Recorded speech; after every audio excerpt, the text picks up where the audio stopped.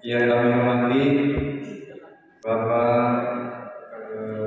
Fadil Adi Hidayat dan kami hormati K3S Kecamatan Daung yang kami hormati narasumber yang kami hormati pula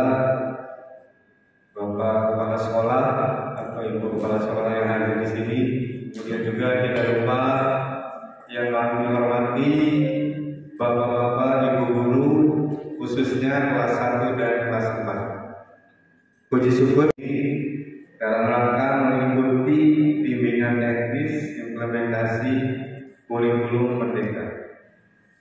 Jadi mungkin ini merupakan tempat yang kesekian kalinya bagi kami untuk melaksanakan monitoring IKN. Kemarin kita sudah keliling ke wilayah timur. Alhamdulillah eh, antusiasme dari para peserta itu sangat tinggi mengikuti bimbingan teknis ini. Khususnya untuk di Kecamatan Kedaung ini mungkin tadi pagi sudah diberikan arahan khusus oleh Bapak Kepala Dinas Pendidikan. Jadi saya juga tidak akan memberikan arahan lagi eh, dari Ibu karena arahannya sudah langsung oleh Bapak tadi. Kami hanya ingin menyampaikan beberapa hal kaitannya sedang kami laksanakan pada saat ini. Jadi selain IKN ini kami juga ada beberapa program yang sedang kami laksanakan. Misalnya sekarang ada eh, seleksi tahap 3 untuk sekolah penggerak Pak. Kebetulan di Kedaung ini ada tidak Pak? Ya, tidak ada. Kemarin itu yang sudah lolos itu eh, 11 orang artinya 11 sekolah yang lolos untuk verifikasi di tahap ketiga. Tadi kami dengan eh, lembaga penjaminan mutu pendidikan Provinsi Jawa Barat melaksanakan rapat pleno Pak intinya untuk sekolah penggerak ini yang sudah final lolos untuk seleksi tahap akhir tadi dipastikan bahwa dari SD negeri ini yang lolos untuk sekolah penggerak ada sekitar tujuh sekolah tujuh sekolah negeri SD negeri dan satu SDN SD swasta. Jadi ini merupakan pencapaian yang cukup baik buat Kabupaten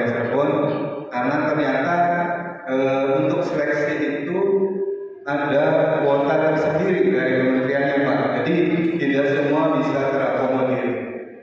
Jadi kita harapkan untuk tahun-tahun berikutnya akan semakin banyak sekolah-sekolah khususnya kepala sekolah yang mengikuti program sekolah penggerak ini karena nanti ke depannya sekolah yang memang akan mengimplementasikan kurikulum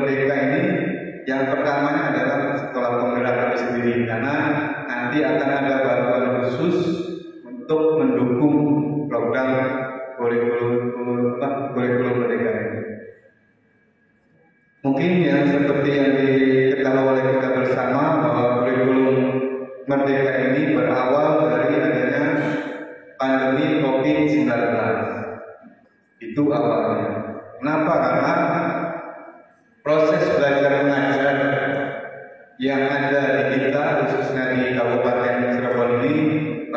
sekali mengalami hambatan-hambatan ketika adanya pandemi.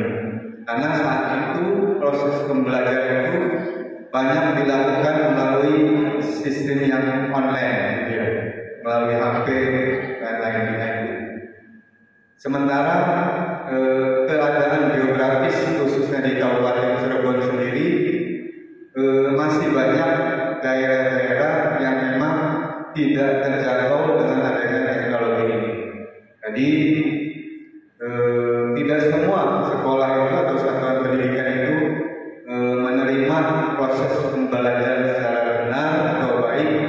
pada saat pandemi COVID-19.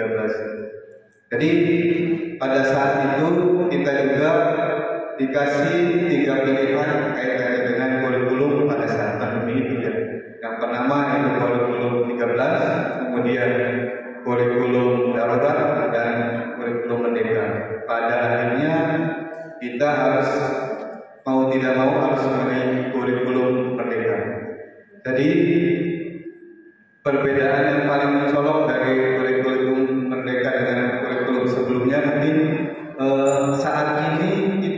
lebih memperhatikan eh, kemampuan minat dan kreativitas siswa.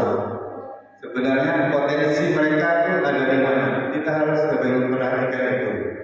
Tidak sampai kita memaksakan kehendak kita dalam proses pembelajaran.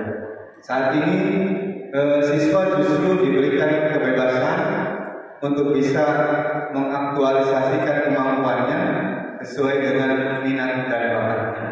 Itu mungkin eh, perbedaan dari kurikulum sebelumnya. Kemudian ada lagi program yang kita laksanakan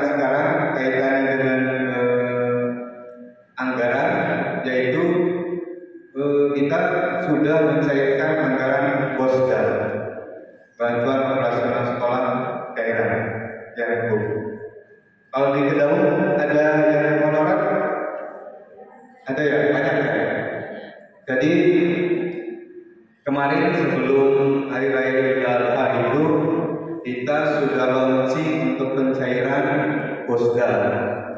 BOSDA ini memang eh, jumlahnya sedikit pak nominalnya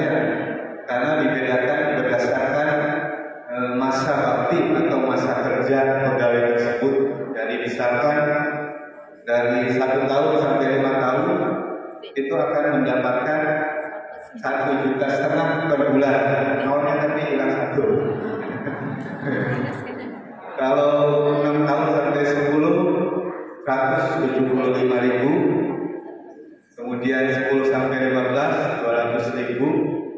15 tahun ke atas, 225 ribu. Kalau secara nominal perseorangan itu kecil, tapi ketika itu dikalkulasikan secara kabupaten, total itu kalau digabung dengan 20 m. Oh, anggaran ini cukup besar buat kami, makanya eh, anggaran tersebut kami harapkan dapat dipergunakan sebaik-baiknya oleh rekan-rekan kita yang ada di satuan pendidikan khususnya yang masih honor. Walaupun kecil, mudah-mudahan itu bisa bermanfaat. Ya. Jadi itu mungkin kita harapkan eh, kegiatan ini bisa memberikan manfaat buat bapak-bapak dan ibu-ibu sekalian. Walaupun kalau secara nasional IKN ini akan diterapkan pada tahun 2024. Di saat yang sama tahun 2024 itu nanti menterinya ganti. Mudah-mudahan kurikulumnya sih tidak ada. Tuh ya. Itu kami ucapkan selamat mengikuti Bintek Bapak-Bapak dan Ibu sekalian sampai selesai. Itu saja eh, yang bisa kami sampaikan. Mohon maaf apabila ada hal-hal yang kurang berkenan. Kami akhiri. Bila itu hidayah. Wassalamualaikum warahmatullahi wabarakatuh.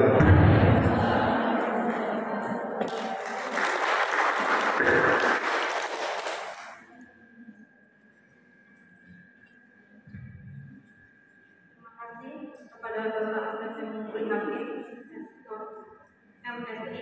Eh, acara selanjutnya, acara selanjutnya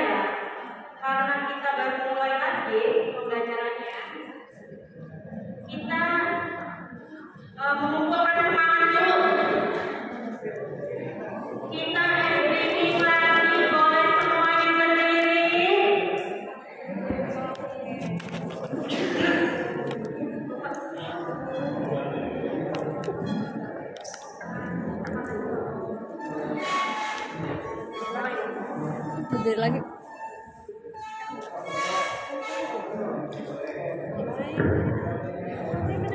Kepada kepada kepala sekolah berkenan untuk sekolah.